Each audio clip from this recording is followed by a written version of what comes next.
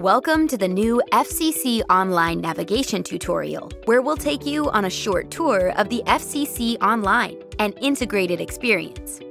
In this tutorial, we'll show you important information available on the dashboard and how sections of the FCC are arranged within the navigation bar. We'll also take you on a quick tour of the search tool. After you log in to the FCC Online, you will be presented with a dashboard which is the landing page for all users.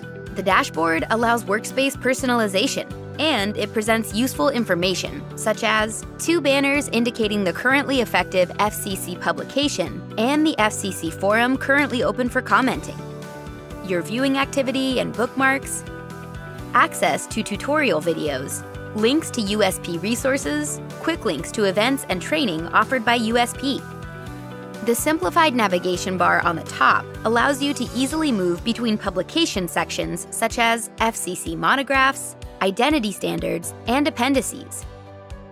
There is also a tab named Resources, providing direct links to external websites relevant to FCC.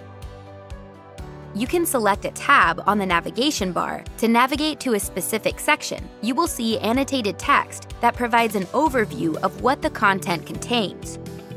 When you select a section to browse, a list of documents from all available versions will be displayed.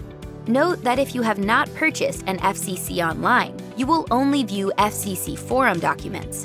FCC Forum documents are indicated with a commenting box icon. You can then apply search filters to narrow down the list and find the appropriate document. You can also choose to view documents from previous versions of FCC or from a version that is not yet effective. By default, the system will indicate which publication is currently effective by the green checkmark icon in the filter panel. A search bar on the top is always available to you to quickly find a document that you are looking for. The advanced search allows you to refine your search by title or by category within a monograph document you can easily search for specific words, phrases, or documents that can be further refined by using filters to get to the correct document. Click on your user account to view and update user account preferences, to manage alerts, and to log out of the FCC online platform. The Bookmarks menu lets you access your saved bookmarks to quickly open a document. If you want detailed instructions on using FCC Online Platform, click on the Help icon to access an online user guide. Thank you for watching this tutorial.